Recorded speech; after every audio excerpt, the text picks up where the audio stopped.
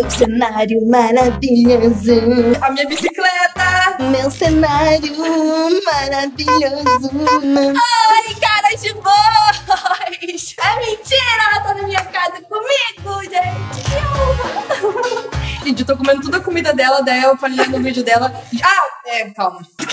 Aquela que contar a fofoca na hora. Estou aqui com a Paula Estefânia. Essa garota, ela manja dos Paranauê, entendeu? Ela faz umas coisas incríveis no canal dela. Paranauê, Paranauê.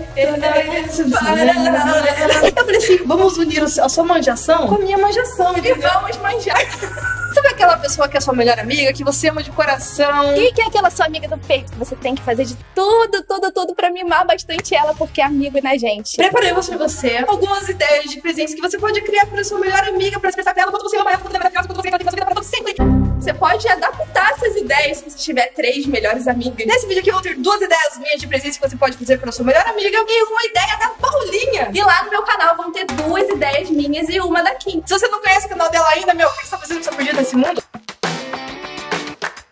A Paulinha disse que se esse vídeo aqui chegar em 150 mil curtidas, ela vai voltar pra fazer outro vídeo aqui no canal. Eu vou lá em Curitiba, na casa da Kim, porque Curitiba dizem que é uma cidade linda e não é esse calorão aqui do Rio de Janeiro, né, Kim? Vamos nessa! Amigo é coisa pra se guardar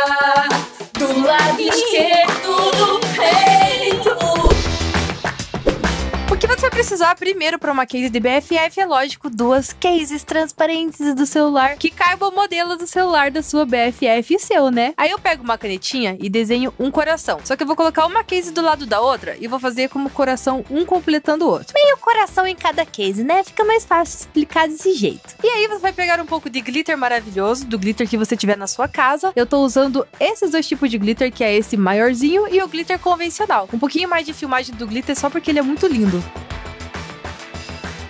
E aí eu tô usando cola para silicone, porque eu acho que é a única que gruda realmente nesse tipo de material. Estou desenhando o coração igualzinho fiz com a caneta, só que agora com cola. Em cima dele eu vou jogar os glitters que eu vou usar. Você pode fazer uma misturinha dos dois, caso você esteja fazendo dois tipos de glitter diferente, igual eu. Ou você só vai jogando glitter ali mesmo e já era. Contorno todo o coração com o glitter maiorzinho. Se precisar, você pega um cotonete enquanto a cola ainda tá molhada, para você conseguir limpar bem o cantinho e deixar o coração com um formato bem de coração mesmo, assim. Dá uma empurradinha no glitter ali pra ficar tudo certinho. Dentro desse coração eu vou passar mais cola assim espalhadinha e com o dedo mesmo eu vou espalhando em tudo, ó. Vou jogando glitter menor e aí eu coloco mais umas gotinhas de glitter ali, aperto com o dedo só na parte da beiradinha e venho jogando mais glitter para eles virem num degradê. Desse jeito aí, ó, fica a coisa mais linda. Aí você pode usar um pincel ou alguma coisa e chacoalhar o resto de glitter que, que não grudou direito e aí uma capinha de BFF já está pronta. Para você fazer a segunda capinha é a mesma coisa, é só fazer o mesmo passo e você pode fazer com a mesma cor, mas eu achei legal fazer com uma cor diferente. Aí eu usei minha cor preferida e a cor preferida da Paula Stefania. Ah, eu tô sabendo que estão de olho ali no que a Paula Estefânia tá fazendo e tão curioso pra ver o que que é, né? Ô, Paulinha, conta pra nós aí o que que você tá pintando.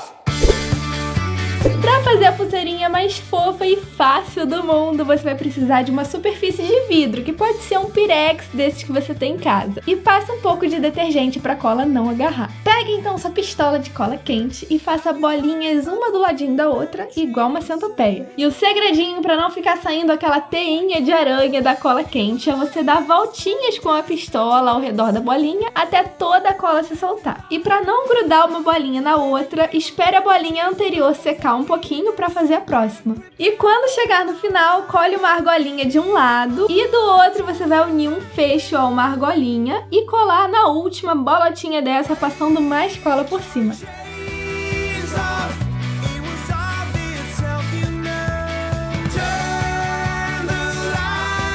Desgrude do vidro e pinte na cor que você quiser usando esmalte de unha. Faça uma para você e outra para sua amiga ou faz um montão e dê de presente para todas as suas BFFs.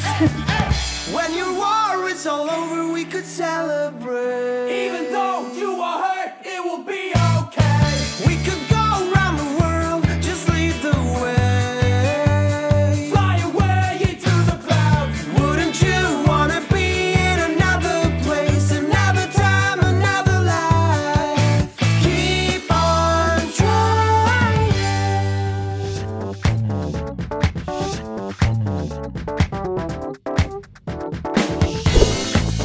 Thank you. O nosso próximo presente de BFF é uma camiseta. Pra isso vou precisar de duas camisetas brancas, uma no meu tamanho e uma no tamanho da minha melhor amiga. Pra mim eu peguei P, né? E pra Paula Stefania, que parece uma formiguinha, eu peguei PP. e eu conseguir pintar as duas do mesmo formato, eu vou ter que fazer uma dobrinha ali, ó, básica. Eu dobro a manga pra dentro e dobro assim, ó, contando uns dois dedinhos assim, ó, da parte de pra baixo do sovaco, entendeu? E eu faço a mesma coisa na outra camiseta e coloco uma exatamente do lado da outra. E aí eu tô fazendo uma marcação toda usando um lápis. É importante que os arco-íris tenham o mesmo tamanho, então eu coloco as partes onde a gente vai se encontrar. Sabe quando a gente se abraça e encosta um arco-íris no outro? Então, é tipo assim, você vai colocar ali e vai fazer o desenho de todas as linhas do arco-íris para que elas saiam do mesmo lugar e fique bem parecido. Deu pra entender? Depois disso é só você desenhar o arco-íris de boa, assim. Você puxa o arco todinho e desenha a nuvem. Quando o seu molde estiver todo desenhado, aí é só você pintar. Ah, mas antes de pintar, é importante você colocar um plástico, um pedaço de papelão, alguma coisa dentro da camiseta, porque se você pintar lá na frente, é capaz de penetrar a tinta no tecido e na hora que você for vestir, as tuas costas estarem toda manchada, porque entrou dentro do tecido e manchou as costas também. Então o plástico vai evitar que isso aconteça.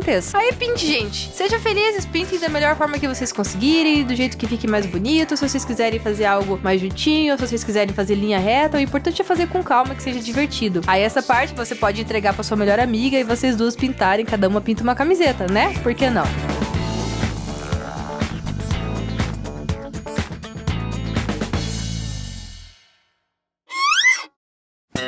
Que? Tô almoçando.